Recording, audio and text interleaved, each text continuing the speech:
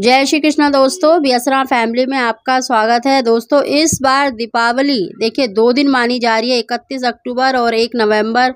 दोस्तों, दिवाली की जो पूजा का महत्व है, वो अमावस्या के अंदर माना जाता है और 31 अक्टूबर, यानी गुरुवार के दिन, दिवाली का पूजन करना बहुत ही सर्वार सिद्ध योग माना जा रहा है। तो आप 31 अक्टूबर, गुरुवार के दिन ही लक्ष्मी पूजन करें निश्चित ही आपको, आपकी सभी प्रकार की मनोकामनाएँ अवश्य ही पूरी होंगी।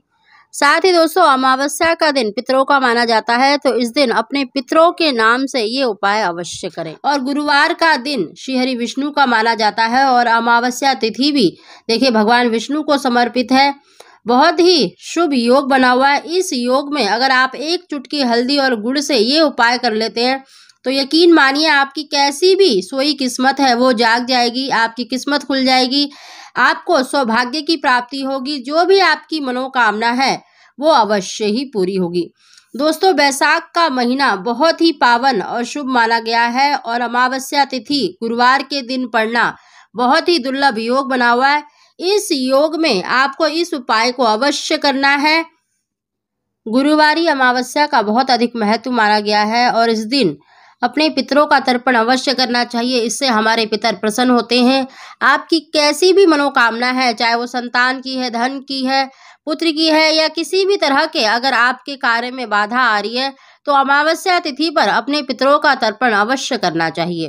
दोस्तों, ये है तो छोटा सा उपाय। इस उपाय को करने से आपके घर में माता लक्ष्मी का आगमन होता है, सुख सौभाग्य की प्राप्ति होती है, जीवन में चल रही परेशानियों का अंत होता है। तो आप इस उपाय को अवश्य करें। उस उपाय को जानने से पहले दोस्तों, अगर अभी तक आपने हमारे चैनल को सब्सक्राइब नहीं कर रखा तो प्लीज़ सब्सक्राइब ज़रूर कर लें। बगल में बेल आइकन को ही प्रेस कर दें, जिससे मेरे आने वाली सभी लेटेस्ट वीडियो का नोटिफिकेशन सबसे पहले आप तक पहुँच सके। दोस्तों, गुरुवारी अमावस्या के दिन स्नान के पानी में चुटकी भर हल्दी डालकर अवश्य ही स्नान करना चाहिए, इससे सौभाग्य की प्राप्ति होती है। और स्नान करने के बाद पीले वस्त्र अवश्य धारण करने चाहिए और सबसे पहले सूर्यदेव को अर्ध अवश्य देना चाहिए। सूर्यदेव को जल देने वाले लोटे में भी एक चुटकी हल्दी और थोड़े से काले तिल डालकर ओम सूर्यदेवाय नमक कहते हुए सूर्य को अर्ध अवश्य दें। और इस दिन अपने पितरों का दर्पण अवश्य करें। एक लोटा जल, थोड़ा सा मीठा कच्चा दूध और काले तिल डालकर पीपल पर ओम पितृभ्यो तर्प्यामी कहते हुए जल अवश्य ही अर्पित करना चाहिए, इससे हमारे पितर प्रसन्न होते हैं। साथ ही दोस्तों, देखिए, गुरुवार का दिन श्रीहरि विष्णु का माना जाता है तो इस दिन आप एक लोटे में थोड़ी सी चुटकी भर हल्दी, चने की दाल और गुड़ डालकर केले के जड़ में ओम ब्रह्म बृहस्पते नमः, ओम ब्रह्म बृहस्पते नमः कहते हुए जल अवश्य चढ़ाना चाहिए। ऐसा करने से श्रीहरि विष्णु की कृपा प्राप्त होती है।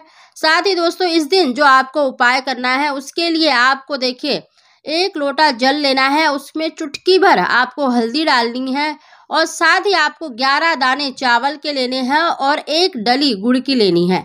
आपको छोटी सी गुड़ की डली लेनी है और आपके घर पे जहाँ पर तुलसी है, आपको तुलसी के वृक्ष के पास जाना है और ओम नमो भगवते वासुदेवाय नमः कहते हुए आपको तुलसी में वो हल्दी वाला जल अवश्य ही अर्पित करना है।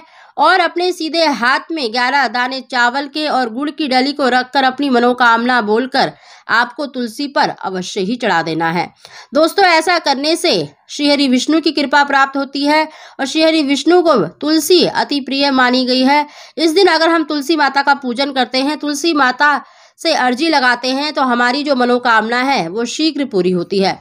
दोस्तों ये हल्दी वाला उपाय परिवार के सभी सदस्य कर सकते हैं। ऐसा करने से उनका सोया हुआ भाग्य जाग जाता है।